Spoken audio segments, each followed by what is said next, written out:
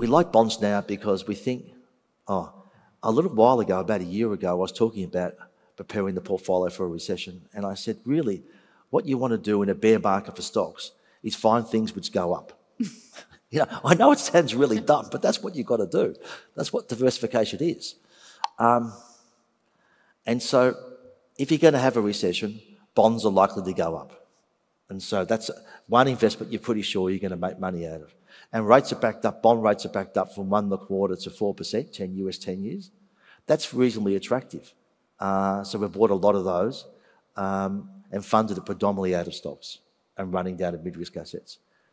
Um, I don't think if rates were back at one and three quarters, you'd have a lot of them in the portfolio. Mm. I just, at one and three quarters, the chance of them going up a lot in a, in a environment whereby the equity market falls is small, so they won't deliver much diversification.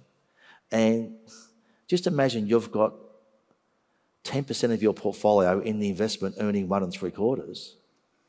It's going to be practically negligible. So you, you have to find something else to make some money out of it because you have to make your 6% return somehow, and you're not going to make it by investing in something earning one and three quarters.